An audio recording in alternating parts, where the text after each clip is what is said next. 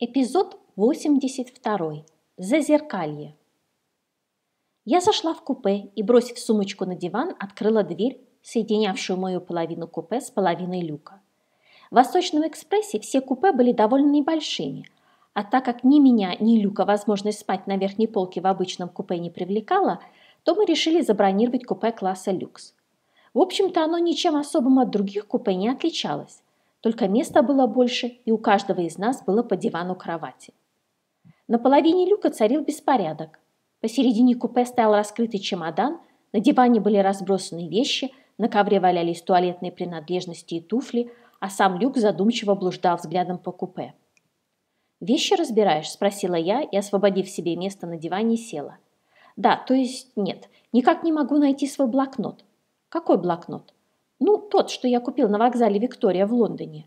Помнишь, я там еще зарисовки делал?» «Угу», — отозвалась я, рассматривая пурпурную подкладку его бархатного пиджака. «Может, мы его в отеле забыли?» «Может быть», — пробормотал Люк и снова стал перетряхивать свои вещи. Мне стало немного стыдно.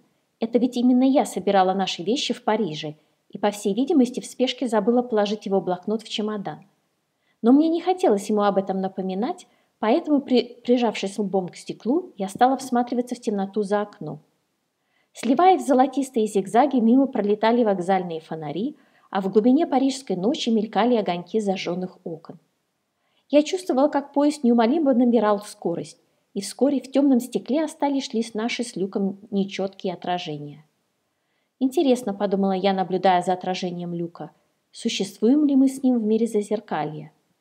Тем временем он закончил свои безрезультатные поиски и, повернувшись ко мне спиной, уставился куда-то в противоположный угол купе.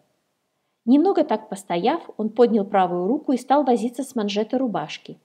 Белая материя, натянувшись на спине, обозначила его широкие плечи. Видимо, в этот момент кудри с лба соскользнули ему на глаза, так как он вдруг резко тряхнул головой и, закинув ее назад, несколько раз провел рукой по волосам. И все-таки как-то нехорошо, надо бы пойти поискать его блокнот. Может, я его по ошибке в свой чемодан положила, подумала я и хотела было уже встать, но тут рядом с люком появилась какая-то женщина в сверкающем вечернем платье. Ее золотистые волосы были уложены красивыми волнами, а на голове покачивалось страусовое перо. Она подняла с дивана пиджак и подала его люку.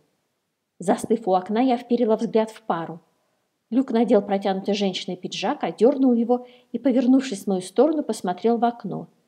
В ту же секунду я поймала взгляд глядевшего на меня из-за зеркалья темноволосого незнакомца с соболиными бровями.